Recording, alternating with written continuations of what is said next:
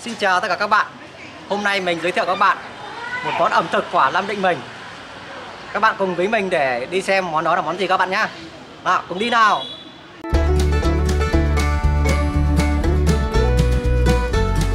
Hôm nay là chợ phiên các bạn ạ. Các bạn xem vùng quê của mình.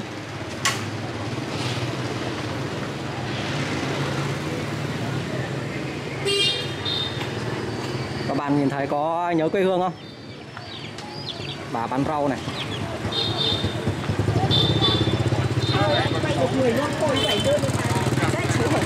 Bài án vui bà. À. Các bạn xem ờ, khu chợ rất là đông người các bạn ạ. Hai ngày khỏe Hàng hóa rất là tâm nập, hôm nay là chợ phiên mà. Ở mình ờ, chợ phiên thì tháng hình như là bốn chợ phiên thôi.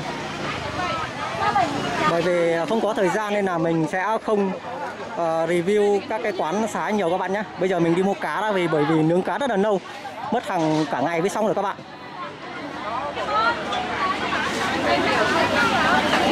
Bây giờ cũng uh, tìm uh, cái cái quán uh, cái cửa hàng cái cái cô bán cá mà nhà mình hay mua ấy. Mình phải nhờ bà xã mình đi các bạn. Bởi vì cái chợ mình nó có cái gì đó nó nó khác với này ở vùng khác các bạn.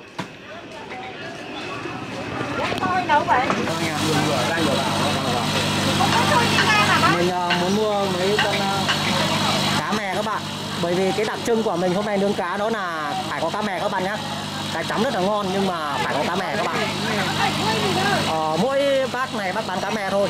Ờ, bây giờ mình à, nhờ bà xã mình mua hộ mình mấy con cá mè các bạn vừa rồi mình cũng đã đi chợ mua cá rồi các bạn. Thì là mình mua hai con cá mè thì tầm khoảng 5 cân các bạn. Tại sao phải dùng cá mè các bạn? Để mình trong quá trình mình làm video ấy mình sẽ giới thiệu cho các bạn lý do vì sao quê mình ngày xưa là hay nướng cá mè các bạn.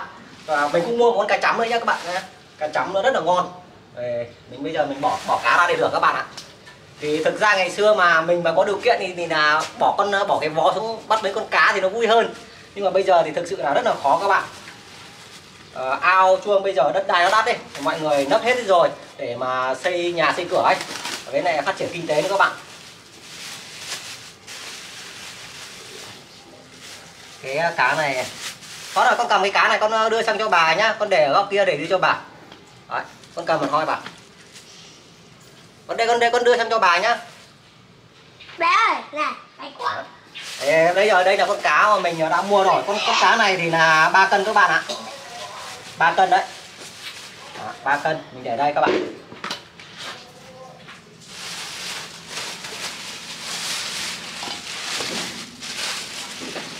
Đây là cá mè các bạn nhé Đó.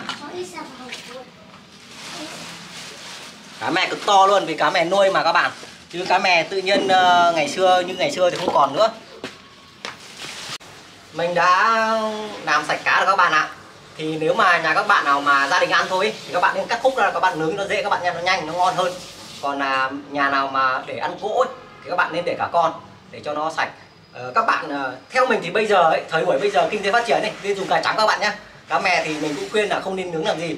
Nhưng mà cái xưa kia quê mình ý, là hay nướng cá mè. Nên là mình muốn ờ, nướng hai con cá mè này để chia sẻ các bạn là tại sao ngày xưa các cụ hay nướng cá mè các bạn. Bây giờ mình sẽ tẩm ướp các bạn. Thì bây giờ thời buổi bây giờ thì mới tẩm ướp ừ, linh tinh các cái thôi. Chứ ngày xưa thì chỉ kẹo đắng thôi các bạn. Thì mình cũng cũng làm y xì như vậy các bạn. Và bây giờ là mình sẽ cho một cái gì vào bụng của nó các bạn. Thì à, mình sẽ cho là chuối vào các bạn đấy mình sẽ đi lấy là chuối.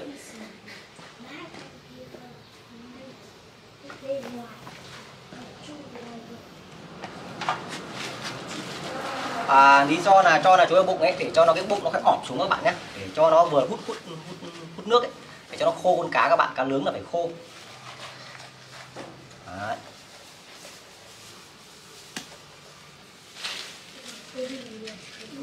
bây giờ người ta là cho nhiều ná lắm để cho nó thơm mà nhưng mà không đúng nữa. Ờ, không phải không đúng mà là nó ngày xưa là các cụ hay dùng là chuối để cho nó khô con cá cho nó ngon bên trong cái bụng này các bạn.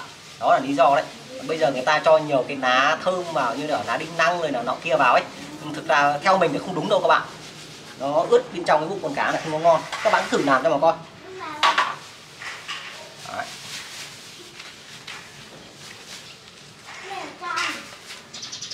các bạn nhớ đạch uh, ờ, khi mà làm cá thì là cái chỗ mở cái miệng uh, cái bụng con cá ngắn ngắn các bạn nhé đừng cho to quá vì là nó sẽ nòi cái cái lá chuối này ra ấy.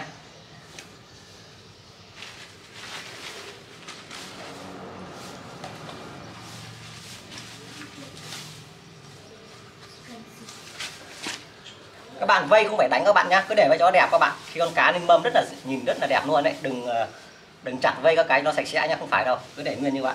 Chỉ rửa sạch sẽ đây là à, làm mật các cái đây là bụng ruột các cái các bạn lấy sạch sẽ ra. À, con cá chấm các bạn? Con cá chấm các bạn cũng làm y chỉ như vậy.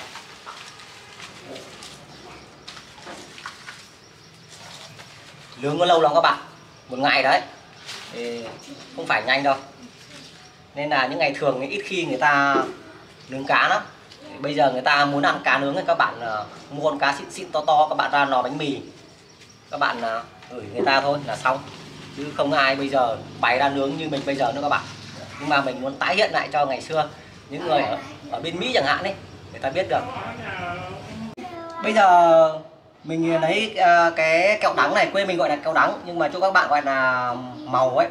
Uh, các bạn là bôi lên con cá nhé để cho con cá khi mà nướng nó đẹp cá các bạn.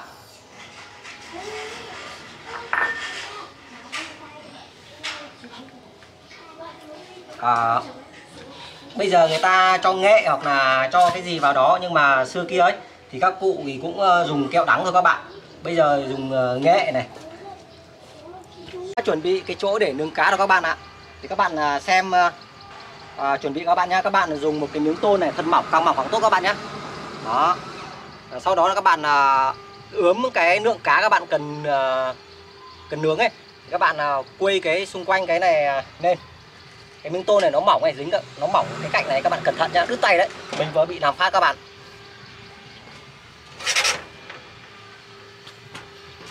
Đây xưa kia cha ông mình đã dạy cho mình cái món cá nướng của người Nam Định xưa. Thì bây giờ mình tái hiện lại y xì như vậy.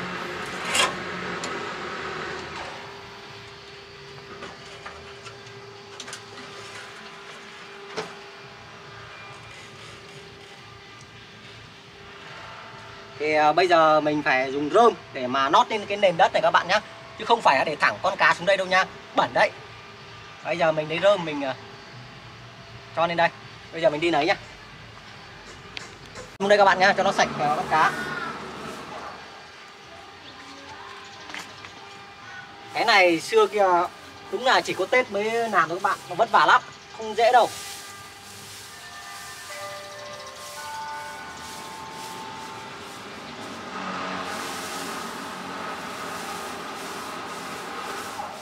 Các bạn ướm cá bao nhiêu thì các bạn là quây cái cái cái gạch này bấy nhiêu. Để cho nó vừa, các bạn không thì nó rộng quá thì nó nó tốn tốn rơm này, mà nó nâu nữa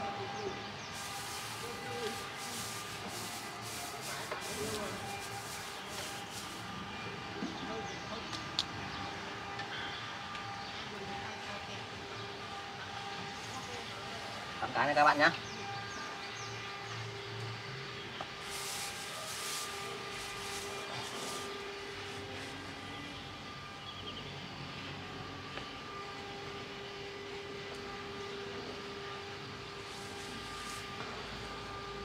con cá chấm này nó hơi dày mình ấy nó cao ấy các bạn chú ý cái điều đó nhá.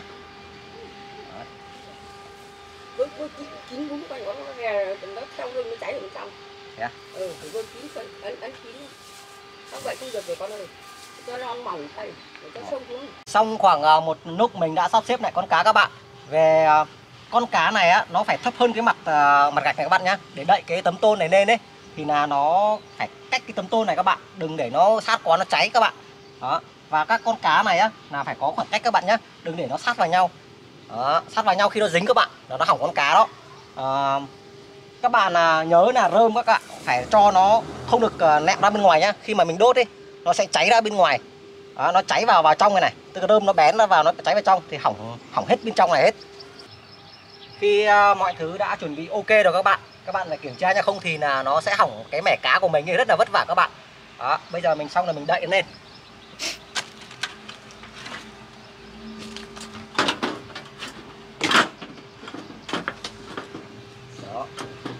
Và cái đặc trưng của cái này là phải dùng rơm các bạn nhé rơm bây giờ rất là khó kiếm luôn. Rơm bây giờ người ta uh, gặt bằng máy rồi ấy. người ta nghiền hết ờ, rơm ra rồi. Nên là được một tí rơm rất là khó các bạn ở cái vùng quê của mình đấy. Mặc dù Nam Định là vùng đất quả nông nghiệp nhưng mà rơm bây giờ rất là khó kiếm luôn đấy. Các bạn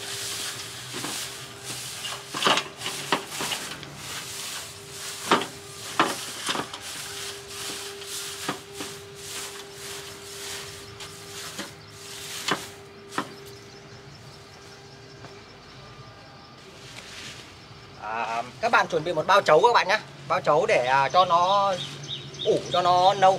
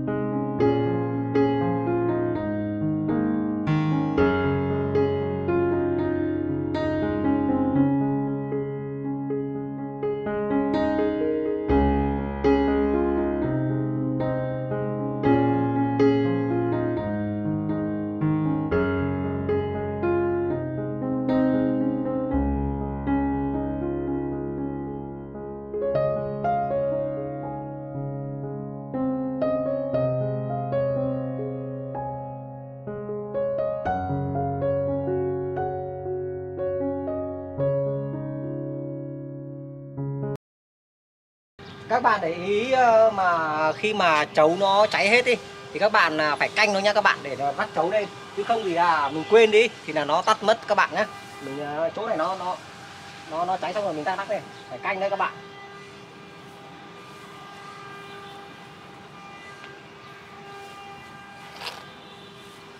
Nhớ phải phủ kín ờ, cố gắng phủ kín cái cái mạch này các bạn nhé để gió nó khỏi nùa bên trong ấy, là nó, cá nó không còn ngon các bạn, nó nâu chín các bạn các, các cái mép mép này này. Đó, các mép mép mép để mà bên phía trong ấy. Bởi vì cái vung ờ, đậy của mình nó không có kín. Rồi. Vậy thôi. À, sau ờ, 4 tiếng ấy thì là mình ờ, ra mình đảo lại cái nượt dưới các bạn ạ. Cũng không biết có vì cái này mình không nhìn thấy nên là khó các bạn sợ cháy hoặc là như thế nào ấy. Thì bây giờ mình lật các bạn nhá thì cũng ướm ướm giờ thôi thì theo cái kinh nghiệm ờ, quen quen là tầm khoảng 3 tiếng đến 3 tiếng rưỡi các bạn ạ. Nhưng mà cũng cẩn thận nha, có lúc thì là cái tấm tôn nó mỏng quá, lúc thì mình để sát quá nên mình không rõ được là nó như thế nào ấy. Nên là đôi lúc cũng bị cháy nhiều các bạn ạ, chứ không phải đơn giản là mình chuẩn đâu, như cái nò bánh mì ấy thì là nó chuẩn. Người ta cứ kéo ra kéo vào ấy thì nó dễ.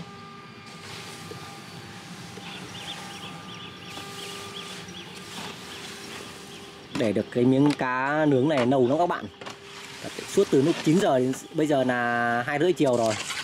Mà bây giờ mới ờ, đảo lần hai.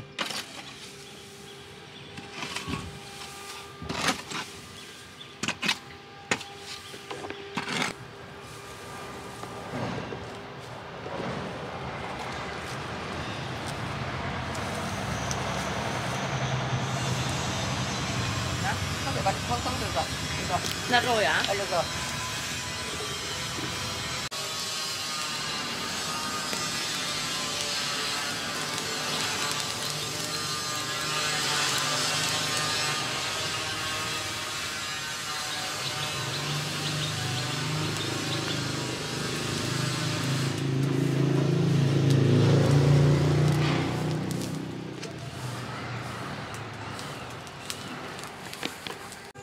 cháy ngon vậy để để già tí Bây giờ thì các bạn ờ, cũng thấy rồi, nó cũng đã trời tối rồi.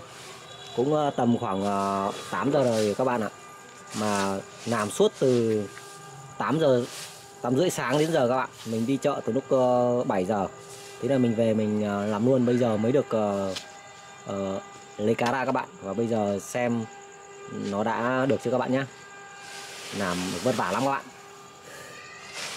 ngày xưa đúng như thế này luôn các bạn. Nhà mình hồi mình còn bé lúc ờ, thời khoảng tầm 10 tuổi ấy cũng vất vả y xì như thế này.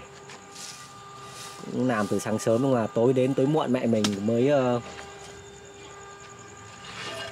lấy được ờ, cá chín ra.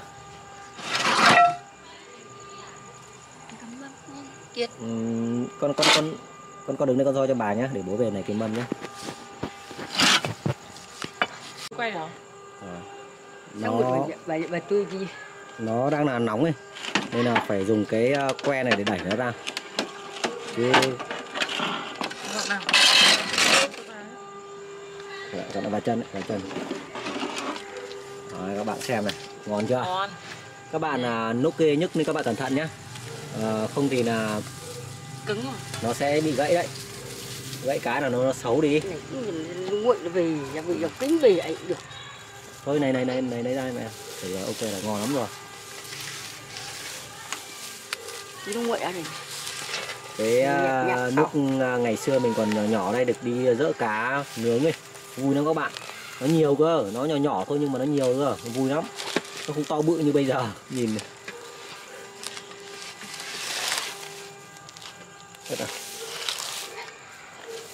Đấy, chỗ này là 6 cân cá mè với lại 3 cân cá chấm các bạn. à, Ờ, gần chục cân đấy. Bây giờ mang về các bạn nhé Vừa rồi là mình ờ, đã nướng xong các bạn. Cũng phải rất có rất nhiều người để trợ giúp để mới xong được các bạn. Ngày xưa thì y xì như thế thôi, vất vả y xì như thế. Nhà mình hôm nay là nướng từ lúc 9 rưỡi sáng, bây giờ là 8 giờ tối các bạn. Các bạn thử trừ xem bao nhiêu tiếng. Thì ờ, cái câu chuyện của con cá mè nó như thế này các bạn. Xưa kia ở quê mình á, toàn là ao, nhà ao, ai cũng có ao. Nhưng mà cá nó nhỏ lắm, bé bằng ba ngón tay này. Đó, còn những con cá to khoảng tầm cổ tay này con cái con cá trắng ấy, thì là đi biếu mọi người hoặc là đi bán thôi không không, không dám để mang các bạn. Ngày xưa nó khó khăn lắm. Thì cá mè nó rẻ và nó nhiều. Nên là mọi người thì là để nhà ăn. Nhưng mà rim hay là nấu thì ăn chỉ một vài bữa thôi. Những người muốn mà để uh, nấu ấy, thì uh, các cụ ngày xưa là hay nướng cá mè các bạn để cho nó để ăn dần. Nhưng thực ra nó chỉ ngày tết thôi chứ ngày thường không ai tự nhiên mà đi nướng cá mè nướng cá mà các bạn không có đâu. Mà nó không có bự như vậy đâu không to như thế đâu. Thì là mình muốn ờ, cho các bạn hình dung được cái quê mình như thế nào các bạn ngày xưa các bạn nhé và bây giờ nghe thử để xem độ ngon của nó. Bắt đầu nhá. Thơm đó các bạn. Đây đúng chất thật sự là nướng thơm các bạn. Chứ bây giờ mình nướng nỏ bánh mì hay là mình uh, mua sẵn này thì thực sự là nó chỉ là ăn ngay và nó to thôi chứ không có thơm được như thế này đâu bây giờ mình ăn thử con cá này các bạn nhé. Chắc không ăn hết đâu các bạn ạ. À, mình sẽ cắt ra xong là mình à, biếu à, anh chị mình một chút thôi. Các bạn để nguội ăn các bạn nhé. Để nguội thì là nó sẽ chắc thịt hơn các bạn. À, bát nước chấm ấy thì là gồm có mình có ba loại thì các bạn thích ăn loại nào thì ăn nhá đây là bát nước chấm tỏi này, tiêu này và nước mắm của hậu mình. Còn đây là tương ớt hoặc là đây là bột canh, chanh. Các bạn cho tí tiêu vào đây cũng được các bạn nhé. Thì bây giờ mình sẽ ăn thử xem ngon như thế nào. Mình thích ăn nước mắm hơn nên là mình sẽ chấm nước mắm các bạn. Mời các bạn nhá ngon các bạn ạ. Tuyệt vời luôn. Thêm cốc bia nữa các bạn. Thì đúng là ngồi ở bờ ao ấy là uống rượu không nào. Gọi mấy ông ờ, thích nhắm nữa thì rất là hay. Ngon các bạn. Ăn một mình thì hơi hơi tiếc phải có cạn nữa thì mới vui. Ngon các bạn. Các bạn nhớ để nguội nhá. Đừng ăn nóng ăn nóng là nó nút thịt các bạn. Ừ. Ngon các bạn. Thơm lắm.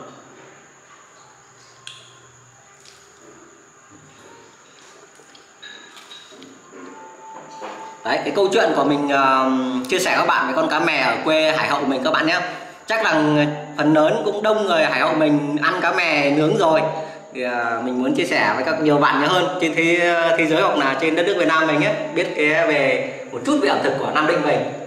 À video của mình cũng đã dài rồi. Mình uh, xin dừng video ở đây. Chúc các bạn buổi tối vui vẻ và thành công trong cuộc sống nhá. Bye bye!